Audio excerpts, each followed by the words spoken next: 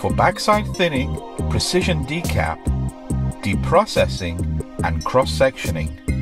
Ultra Tec sample prep equipment, helping your lab to shine. We recently expanded our in-house semiconductor application suite to include a range of the latest imaging and analytical tools for customer-focused process and product development. Ultra Tec sample prep equipment, helping your lab to shine.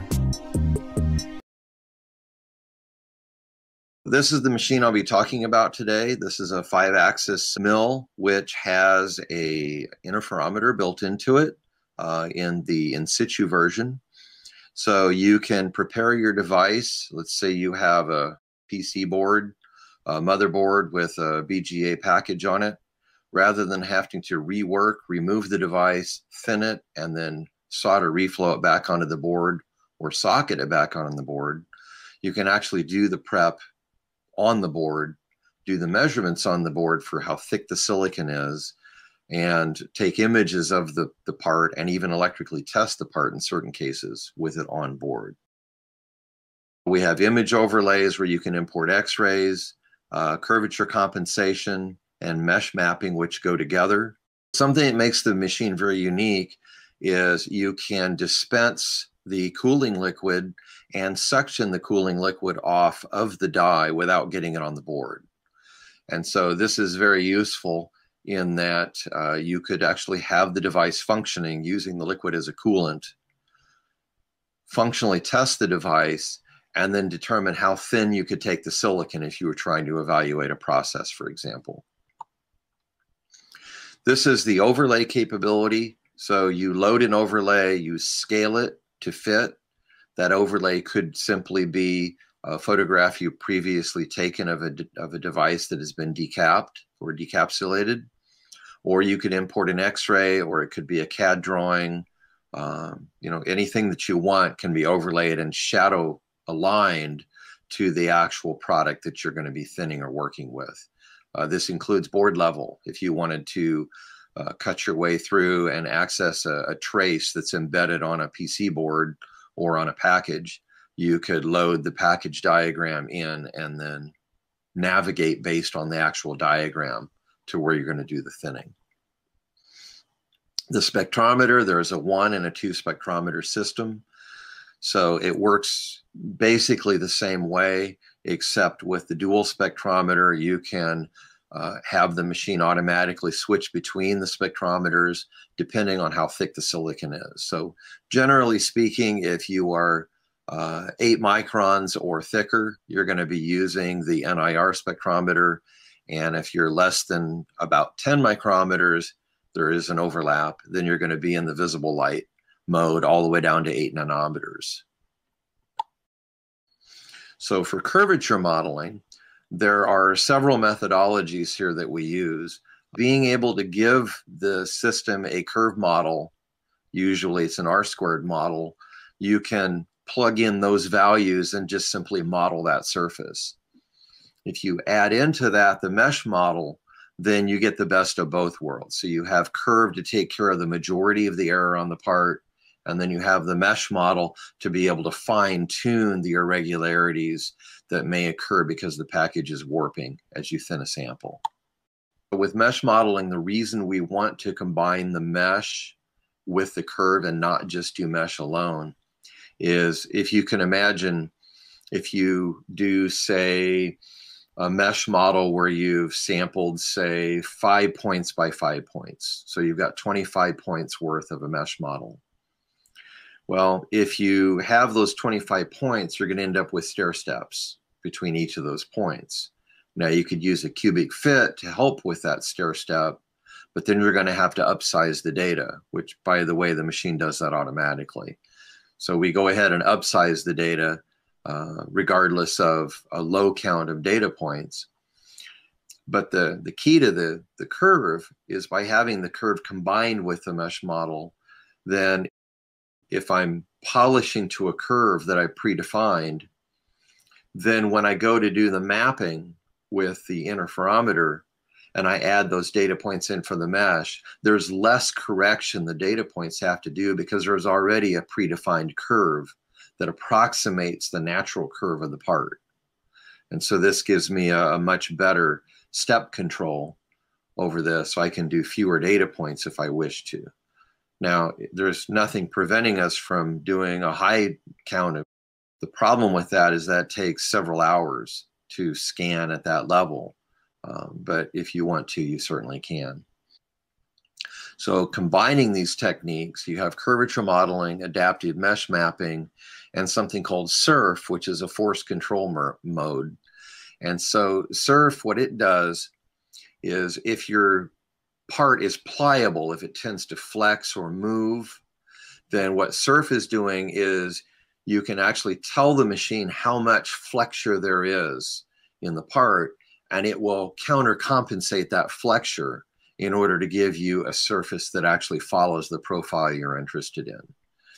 So by combining the mesh mapping and the surf, any spots that are thicker than they should be based on the measurement will have an increased pressure in the surf mode over the other areas. So it will actually exaggerate the pressure in the high zones in order to normalize the surface. So some new imaging capabilities that we're adding, what we're going to end up doing is have the IR cameras be in all camera positions. So you'll be able to image in 45 process using 940 nanometer light to see through thinner silicon. So 100 microns or less, you'll be able to see readily through the silicon. Also, if you're dealing with epoxies, which are infrared transparent, then you can use the infrared mode to see those epoxies for targeting when you're going to thin. So you can do this with the process camera, which can actually see where your tip is while you're thinning. You can also do this with a target camera when you're setting up the part to set your start and your ends or the pocket that you're going to open in a particular sample. So this is a image of the roadmap that we're taking to do the infrared imaging. So the image on the left is the visible illumination on the same camera that also is sensitive to the near infrared. So we switch illumination sources to go between visible and infrared.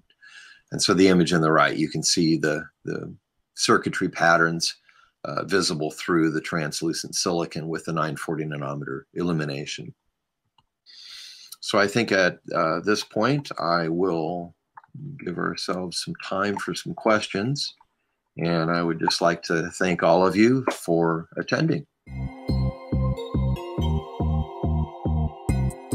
Recently expanded our in-house semiconductor application suite to include a range of the latest imaging and analytical tools for customer-focused process and product development.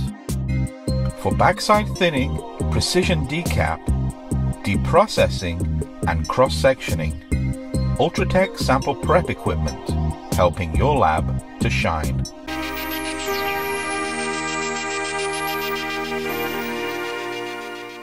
A powerful feature that has been recently added to the ASAP 1 in situ preparation system is the ability to use overlays. In this first example, the device to be prepared has been mounted, focused and centered on the machine. The image to be overlaid is loaded into the software. This overlay can be an X-ray, CSAM, a manufacturing or assembly drawing, or as in this case, the image of a similar device that was previously prepared on the ASAP 1 in situ. Using the standard system software tools, the overlay can be manipulated by size, angle, and XY position to perfectly align with the live target camera image.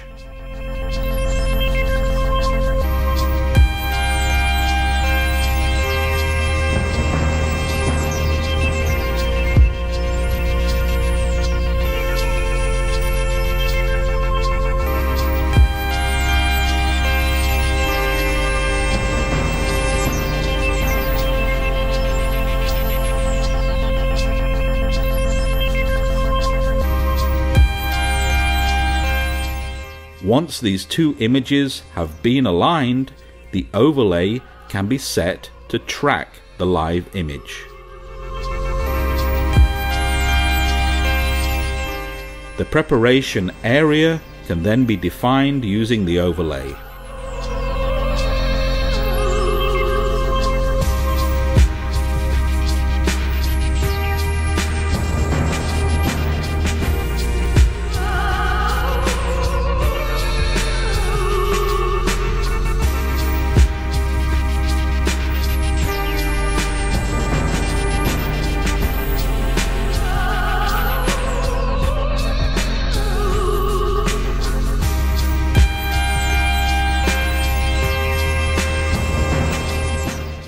System is then switched to process view to begin the machining operation.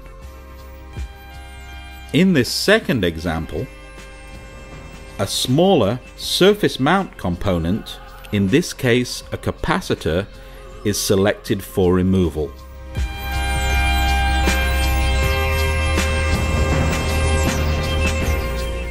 Once again, the overlay can be manipulated by size, angle, and XY position to perfectly align with the live target camera image.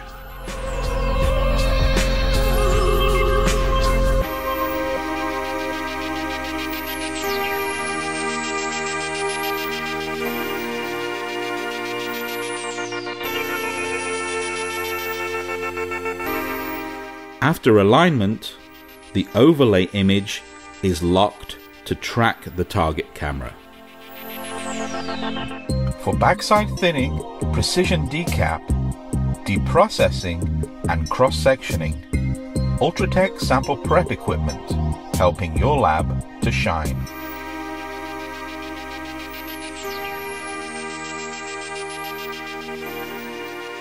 Today I will be introducing our um, UltraPol Advanced system the plate rotates to give the polished surface.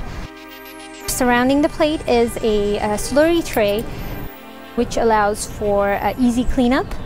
Um, the user has a choice of uh, either having a pumped in water feed or a recirculating pump for uh, changing the polishing media. On the front panel you can see the controls of the system. Uh, we have a timer, the tachometer, start stop um, oscillation uh, speeds as well as the rotation speeds. On the polishing head itself, you could see uh, the angular controls of the system which allow for a very easy and precise tilt alignment for the sample. The user has two ways of um, tilt aligning the samples, one of which is using a micrometer um, the second on this system is Ultra Tec's patented uh, ultracollimator module, which allows uh, for a laser that travels all the way through the, um, the polishing head as well as the angular controls and through the hole in the sample, which uh, takes a um, reflection to the collimator that allows the user to um, align to a pre-calibrated crosshair.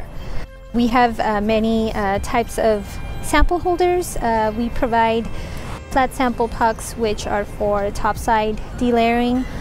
We have the cross-sectioning vices that are for uh, package devices um, and components. There are also a wide variety of um, SEM stubs. For backside thinning, precision decap, deprocessing, and cross-sectioning, Ultra Tec sample prep equipment, helping your lab to shine.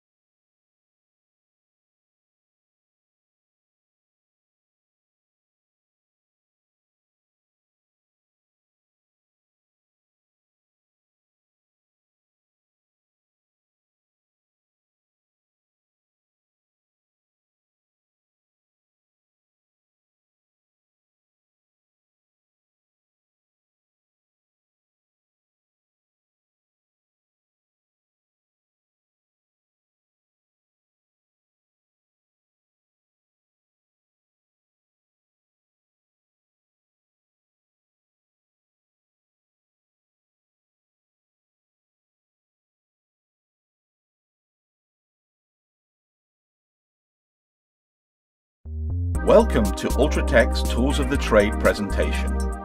ASAP 1 In Situ is our flagship precision milling and selected area preparation system for electronic device failure analysis.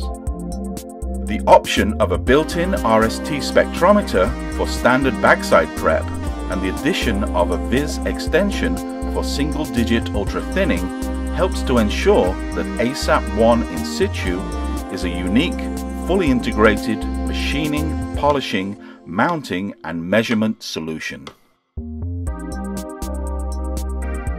The fluid control system doses and removes small volumes of coolants and abrasives, ensuring high visibility of the tool sample interface. FCS works in conjunction with the thermal acclimation plate and our relaxation stage to maintain fluids at process temperature. Machine vision has been improved with the system's three ultra-high definition cameras. These cameras are positioned for sample targeting, side process view, and front process view. We have added near-infrared illumination for through silicon imaging directly on the machine. This can improve targeting and post-process imaging. On the software side, further refinements optimize the system's overlay and 3D mapping features. In addition to through silicon RST measurement, the same toolset can now drive a physical drop-down tool to map top surface data. Both selected pocket areas and complete die may be mapped and processed. Mesh map data is supplanted with substrate curvature data to further improve the adaptive model. Statistical analysis of thickness data has been refined, particularly useful when providing single-digit microns of RST, otherwise known as ultra-thinning. We recently expanded our in-house semiconductor application suite to include a range of the latest imaging and analytical tools for customer-focused process and product development. These techniques combine to demonstrate Ultra Tec's ongoing commitment to supplying the finest sample prep tools to your trade. For backside thinning, precision decap, deprocessing, and cross-sectioning, Ultra Tec sample prep equipment helping your lab to shine.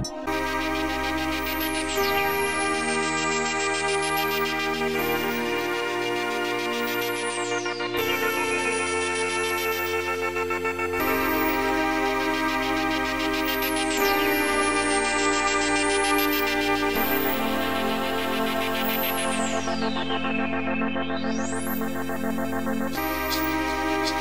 you.